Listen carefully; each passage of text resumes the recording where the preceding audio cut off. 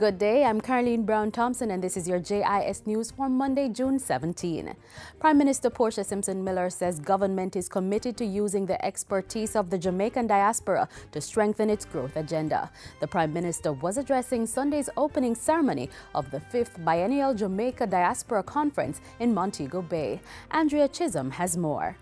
As the government continues to embark on measures to grow the economy, the Prime Minister is calling on the diaspora to join in the mission by investing in Jamaica. Investment opportunities exist in a number of areas including sports, tourism, healthcare, technology and education. The Prime Minister says the growth agenda is incomplete without active participation from the diaspora.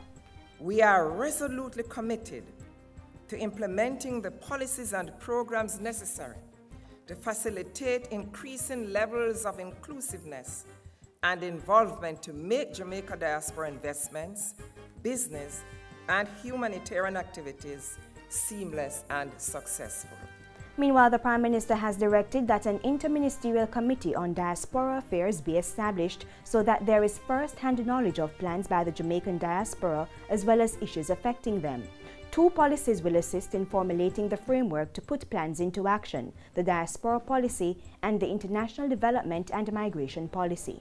Now, the theme for this year's staging of the Diaspora Conference is A Nation on a Mission, Jamaica Diaspora Partnership for Development. The aim, therefore, is to deepen relations to place Jamaica firmly on that path to economic prosperity. Reporting from Montego Bay, I'm Andrea Chisholm for JIS News. Meanwhile, government will be ensuring that the Jamaica Diaspora Conference is not just a talk shop.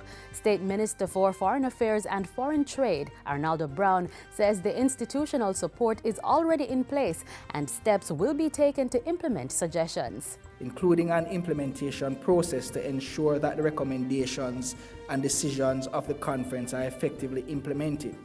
For this purpose, we propose to establish the Diaspora Implementation Council post-conference. The Agriculture Ministry says its push to increase production means that within the next three years, the importation of Irish potato will be a thing of the past. Permanent Secretary in the Ministry, Donovan Stanberry, says 80 to 85 percent of the Irish potatoes we consume is grown locally. And the Ministry is working to sustain and surpass those production levels. We have put in place the necessary policy and support systems to ensure that within the next two to three years, we can stop importing table Irish potato altogether. Mr. Stanberry was addressing the official launch of the Denbigh Agricultural, Industrial and Food Show recently. A draft national policy on blood transfusion and protocols for blood collection is currently being prepared for submission to Cabinet. Health Minister Dr. Fenton Ferguson made that announcement as he addressed the official launch of World Blood Donor Day 2013 at Emancipation Park in Kingston Friday. The policy is part of a national strategy to ensure access to safe and reliable blood supply and to achieve 100% voluntary blood donation. In collaboration with PAHO, a five-year strategic plan has been developed and will be implemented immediately. This plan hinges on voluntary blood donation as the critical pillar that will ensure sufficiency, quality, access, and equity. And finally, Prime Minister Portia Simpson Miller has once again called for women to advance their roles as transformative leaders.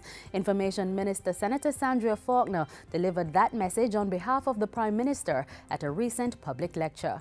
She said it was time for women to embrace their roles as leaders in all spheres of life. Harnessing and unleashing the full transformative potential of our women will require that women play a more integral role in mentoring a new generation of women leaders.